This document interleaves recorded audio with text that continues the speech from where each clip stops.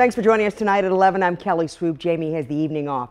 A shooting earlier today outside of Dunbar High School leaves an 18 year old student injured. And tonight, Baltimore police are searching for the people involved. WMAR 2 News' Ray Strickland joins us now live from BPD. It had to be terrifying for those students out there, Ray. Yeah, Kelly, it was a scary situation for Dunbar High School students with this shooting taking place just minutes before school ended. Tonight, police continue to investigate any leads that will help them find the person responsible.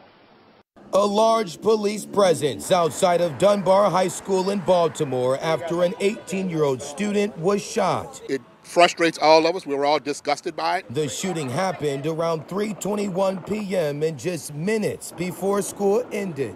What I asked everyone to do is pray for that young man his family. But officers blocking off this area outside of the gym and also near the front of the school as they processed evidence to help in the investigation. The chief of police for City Schools says this happened when a group of students who were outside of the gym were approached by another group of people wearing hoodies. He says a person from that group then pulled out a gun and shot the 18 year old student in the leg.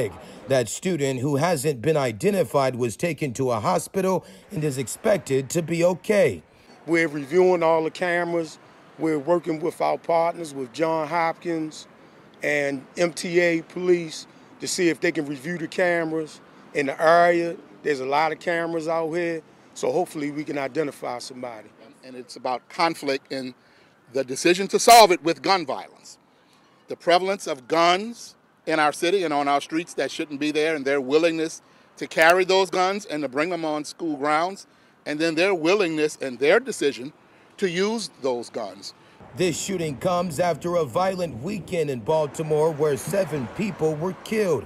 Mayor Brandon Scott once again expressing frustration about gun violence that continues to wreak havoc across the city uh, be vigilant in going down and tracking down these individuals who saw it fit to be uh, so cowardly and, and hazardous to come on school grounds to shoot a student uh, right outside of the school building. This is something that, as a city, as a community, we cannot accept. And police say it's unclear if the victim and the people responsible for the shooting knew each other or if they were students at Dunbar. That's something police will continue to investigate. Meanwhile, if you saw or heard anything, police say you're encouraged to give them a call. And remember, you can do so by calling Metro Crime Stoppers uh, and send a tip anonymously. Reporting live tonight in Baltimore, Ray Strickland, WMAR 2 News.